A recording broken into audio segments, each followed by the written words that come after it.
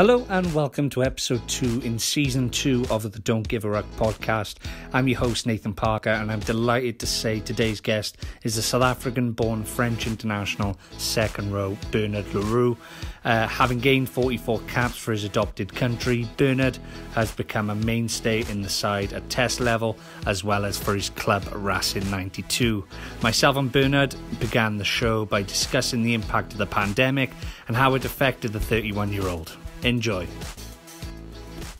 So, well, probably the best place to start, Bernard, is, is with your health and well-being. How have you coped over the last twelve months or so with the the pandemic and the lockdown?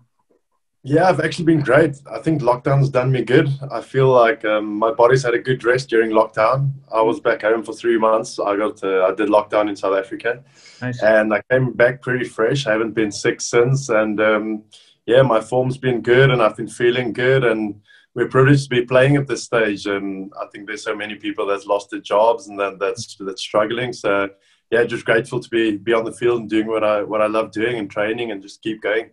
And thankfully, the news that we all wanted uh, was that France are, are, now definitely playing in the Six Nations. It was a it was a bit hit and miss uh, a few weeks ago, but now it's all been sorted.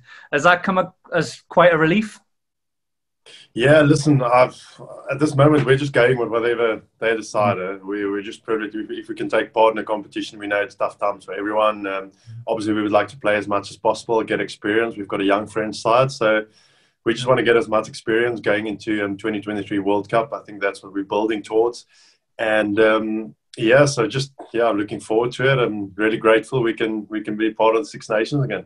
Mm. And well, even better news for yourself. You were actually picked in the 37 man squad. You, you've been sort of a mainstay in the, uh, the I was going to say South African squad then. I was going to get that wrong.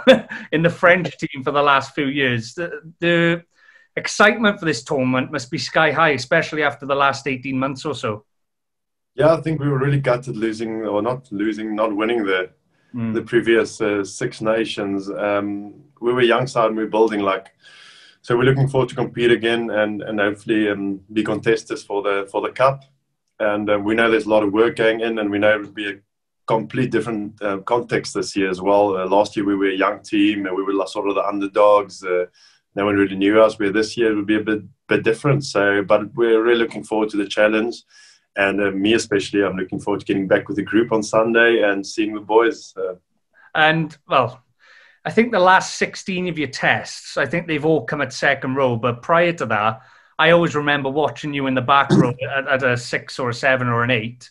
Um, do you feel more comfortable at the second row? I think I'm a bit older now, so shifting to the second row. You'd be propping. It, it, it, was always going to happen. I, I always said I won't play second row before I'm 30 years old, so I turned 30 about a year and a half ago. And um, I guess I've, I've, I've shifted into the cage a bit now. But yeah, with the with second row, the role of second row is changing so much over the the last few years. Just being more mobile, and the whole pack is sort of more mobile. That's modern rugby is just all about playing playing a more mobile style. And um, yeah, I fit in quite nicely there. I'm I mean I'm starting to enjoy it. In the beginning, it was a bit tough shifting from third row to second row, mm-hmm. but I'm starting to enjoy it. And, and I've also learned much over the last two years, and that because it's it's quite a change in lineouts and scrumming and getting around the park differently. Um, so yeah, at the moment I'm just really enjoying it, and I'm glad to still be part of the French team, even if that's the way. Of like I'll play for international rugby if they if they pick me in prop, I'd probably still say yes. So I'm just glad to be be in the mix. Well, where did the the move come from? Was you sort of not forced into the position, but did a coach pull you to one side and say, you know, I think you'd be better suited at lock? I think I've always sort of helped out. 2016, we played um, we played European Cup final and top 14 final, and I played lock both of those games um, as we had injuries. And I just sort of filled in, and they realized that it's better having more loose forwards on the field, as I had a loose forward profile running a lot and, and having a big work rate. Um, and then I just sort of, yeah, they, they, they saw that, and then they sort of asked me a few times I would mind helping out if they had injuries or things. And yeah, just it wasn't planned. Like I didn't make the shift over a few days. It was just over career helping out in the start, and then just sort of went went there and fell into that post. Mm. I asked you that because it's well for me personally, it seems like you're playing the best rugby of your career, especially in a French jersey. Thank you very much. I really appreciate it. But um, yeah, there's still a lot to learn and there's a lot a lot of work before the next World Cup. Just don't do it against Wales. Um, uh, let's take you back to your earlier days now, uh, Bernard, growing up in South Africa. Um, were you aware of your French roots even from a young age? Yeah, my my grandmother always told us about our French roots, and she she loved the French. She she used to put on French songs and stuff. But I, I've never I never really take take take notice of that, and um, sort of thought about it. I never thought I would end up in France. Um, so yeah, it just sort of came over my way. But um, yeah, it's not like it was planned. I was I was supposed to come over to France for three months, and eleven years later, I'm still here. So, but I really enjoyed it, and I and I'm enjoying it at the moment as well. Yeah, we'll get into that in a minute. But when you were younger, was it sort of was it either you were going to play cricket or rugby, or was it always going to be rugby?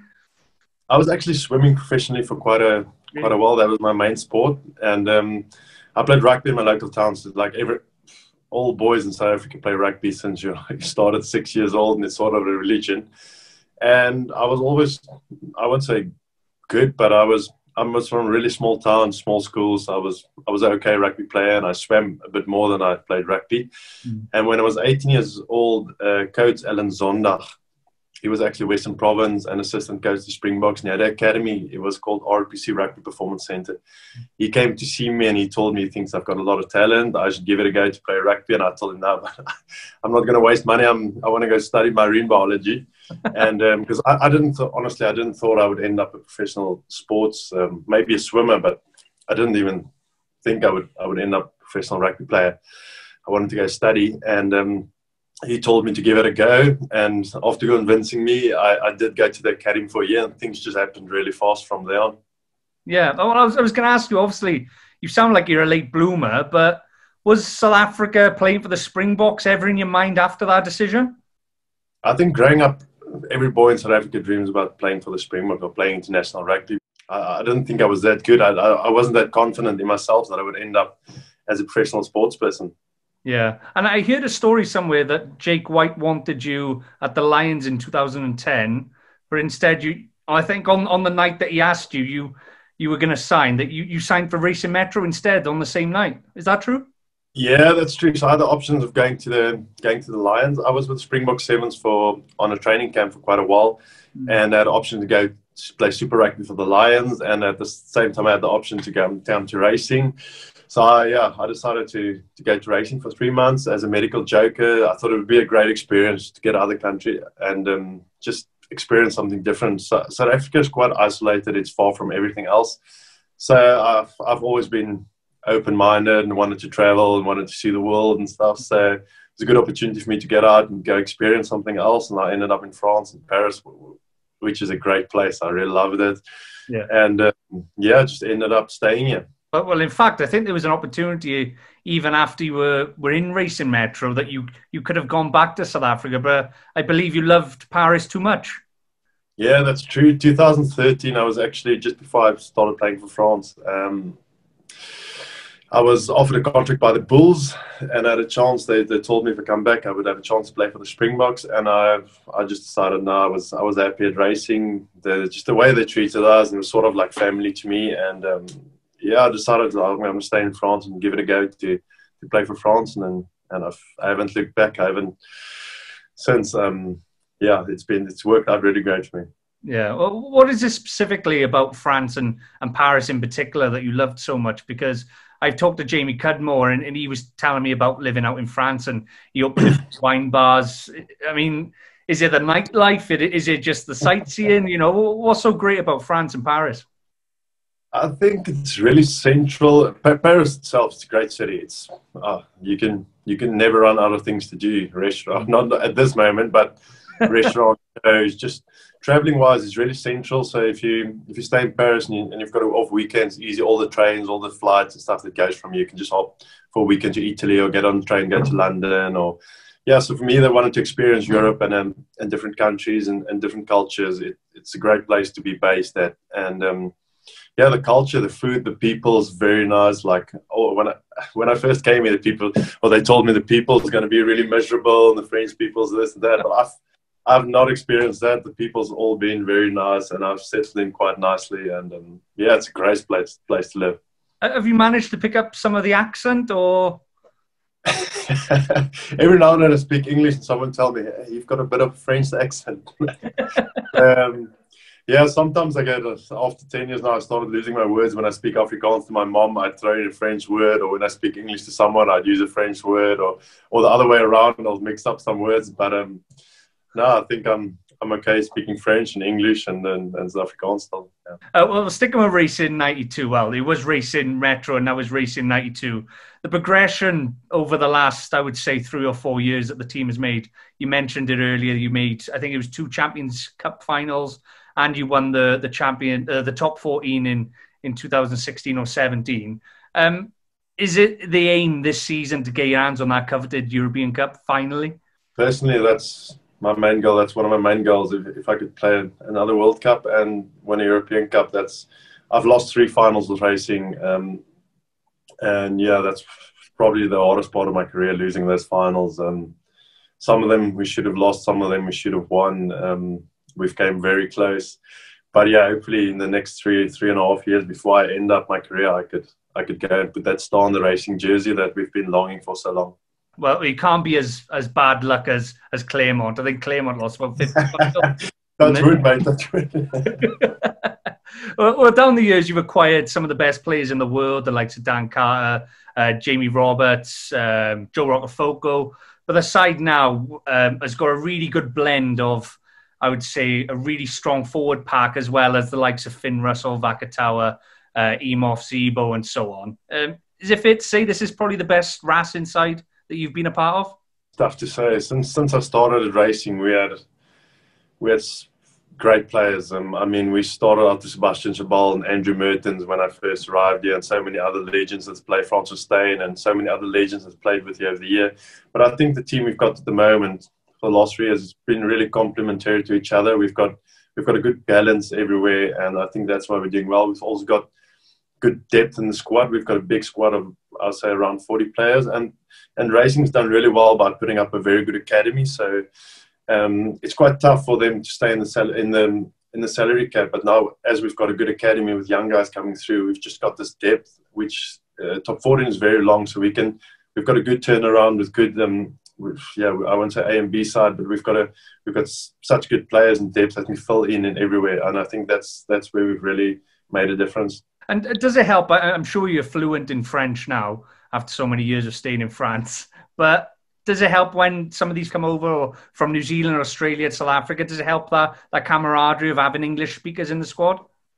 Not just not just English speaking. I think every culture is different, and I think where racing is also good. They learn from all the new players, from the New Zealand, South African guys, the Australian guys. Coming, everyone brings something new, mm. and everyone adds to the to this winning re- recipe. I don't know how to say it. Um, yeah, so um, everyone brings a bit to the table, and over the years, we've I've learned quite a bit from all the other foreign, even from the Fijian guys, um, everywhere, even the Georgians and scrumming. Um, I think there's there's something to learn from each culture's got his his strong points, and I think you should take what's good from all of them and, and mix it up in a team. That's that's what makes it different and, and brilliant.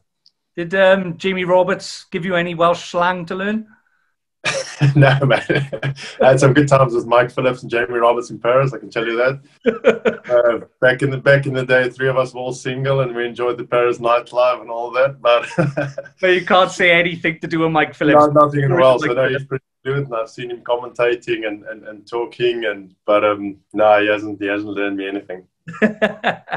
well, bar the COVID restriction restrictions, you would have been playing in the European Cup, I believe, this weekend or last weekend. Um, yeah. What have you made of the decision to to move? Um, well, almost get rid of the group stages altogether after two games and go straight to the last last sixteen. What have you made of that move? Yeah, it's really tough to comment on that. Like we said, we're just fortunate to still play rugby at this moment, go on to top 14. Um, obviously devastated by the by the decision, but uh, it's it's tough times for everyone. We have to understand. I just really hope it goes on. Like I said, I've, I've got big ambition to still compete and win that title. Mm. So hopefully we can, towards the end of the season, we can catch up and, and just finish that tournament and um, hopefully have another go at that at that cup this season. Mm. And domestically, I believe you're third in the table at, at this current time, and you're playing yep. a game tomorrow. Um, years gone by, I, I've watched the top 14 and.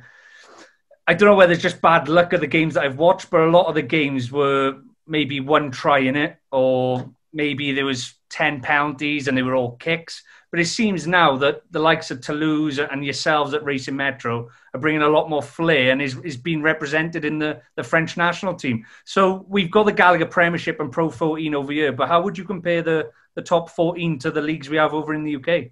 Um, I think it's a bit different. I think in the beginning of the season, the weather plays a big a big thing. Racing, we're, we're fortunate to play in the arena. I don't know if you've seen it. Um, it's closed and, and it's yeah, the amount of tries scored there is just so much more than and and the game plan and and and the expansion of the game is so much more in in the arena. So the weather definitely makes a big difference. When we play here, there's an average of what six, seven tries a game. Whereas you play outside, it's there's one or two. So it's just it's just the game plans which changes up a bit once you play outside on muddy terrain, wet balls, and also if you look towards the beginning or the end of the season where it gets close to summer games get faster. We've seen more tries, so it's a lot to do with that. It's just Northern Hemisphere rugby, I reckon. Um, well, even even in the Six Nations, I think there's a lot of kicking, a lot of mauling and scrumming, and and you get a bit of play. But once you once you get to Southern Hemisphere, playing warmer weather, it's different types of games. So yeah, weather plays a makes a massive difference.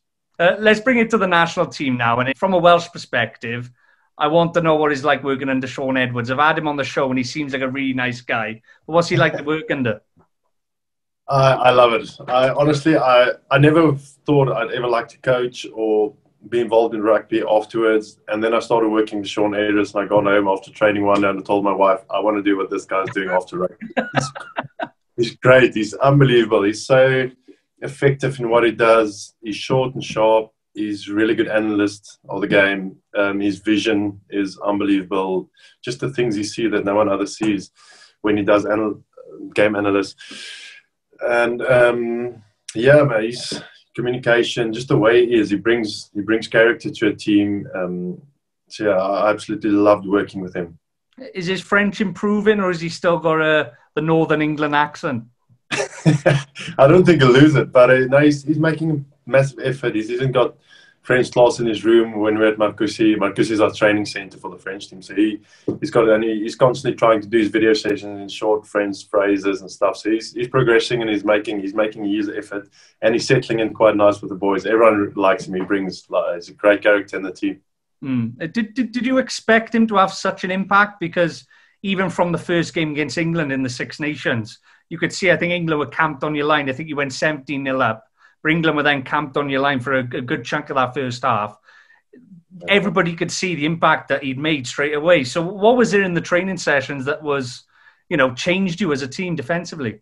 He just makes you understand what he wants from you, and he make, he, he, he, communicates with each player individually in, in a good way. He knows his players, and he, he knows how to get the best out of you. And he just, yeah, he's like I said, he's short and effective. So we do short drills with him, but it's so effective, and it's it's all concentrated on the on the games you're going to have the weekend, what type of play the, the opposition is doing. So um, yeah, he's just effective and analysis is so good, and and and that's the way he coaches. Well, he uses he, he spends a lot of time in front of the computer and he uses everything he's got for that weekend. Yeah, he's amazing, amazing guy. Yeah, and brilliant. We, we've talked about the defence. Let's talk about the French attack and the French flair that has certainly come back and is probably the best I've seen during my lifetime at this moment in time. I think a lot of people talk about the 90s and the French teams and the backs that they had back then with Castaignède and Ntamack, the, obviously the father of uh, the fly half. Uh, but as a forward, is it as simple as just get clean ball and the backs will do the rest? I think we play in the right areas of the of the field as well. Where before we sort of kicked when we were under pressure. We've got good defense. Mm. We've got a good kicking game now, and we play in the right areas of the of the field and use use our time well when we're in the opposition's half. So um, yeah, that's where we changed a lot. We've got brilliant coaches that, like I said, they like Fabien Galthié, um, good lineup, good good scrum coaches. Like for the first time, I feel like we're sort of not trying to catch up with other teams, but we're actually trying to compete and be in front of them and, and just lift the bar and and make other teams want to to do what we're doing. Like I always felt before my first few years of French, I felt like we were chasing either the Springboks or New Zealand. We were always watching what they're doing, trying to copy. Where we're now sort of creating our own style of play, and we, it suits our team. Yeah, it's strange because almost every World Cup that I've watched, maybe since 2007, there's always that thing of France. Well, people saying France always have that one game in them, but it looks like this French team can can go on a run of games without losing, and, and you can go on a run of winning. Is it change? Has the mentality changed as a team also? I think we're definitely working towards that. We want to we want to be a competitive side, and like I said, we're a young side, and um, if we win some cups on the way to the World Cup, mm. that's a bonus. We just want to want to work towards the World Cup and be a great side in the World Cup and, and be competitive and and uh, compete for that title. So that's our main main goal, and on our way there, we'll we'll we'll try to be a consistent team. That's that's really one of our main goals, just to be consistent and yeah. Mm. And uh, well, I don't know when the World Player of the Year is announced, but surely your scrum half, uh, Antoine Dupont, is, is going to be right up there. What was he like to play with? Oh, he's an amazing bloke, and he's a great player. He's, like, I mean, he's so explosive, and even us, we don't always know what he's going to do, but um, it, only, it always works out well. And especially him playing with Romain in the same team in Toulouse, I think they're really experienced. Um, scrum off and fly off. Um, even though they're young, they've got quite a bit of experience playing together in the top 14, so that helps a bit. Um, we'll see how it gets if, if we like we're going into the Six Nations without Romain having another fly off. Um, so we'll see how that goes. But um, yeah, he's, he's been great. He's been unbelievable in the Six Nations, and hopefully he can keep his form up until the World Cup. And of course, you open the Six Nations against Italy, and they give you quite a tough game at the in Paris last year. They scored quite a few good tries. How important is it not just to win that game, but you know, without being unflattering to Italy, get a bonus point because it seems like the other side might get a bonus point against Italy as well. Yeah, listen. First, a win is always the most important. Um, I think it's not just not just getting that bonus points against Italy, but last year what, what it hurt us as well is losing a getting a defensive, giving England a defensive bonus point. So always, yeah, look at it that way as well um, Italy France always a it's two Latin teams competing, and it's it's it's quite a tough game. Um, where I feel it's a different context when the English team play Italy. Yeah. So yeah, we'll we'll take it. We'll we'll be happy with the win if we can get a bonus point. That'll that'll that'll be super. But um, yeah, just go through the six. If we can win all the all the games, that would be great.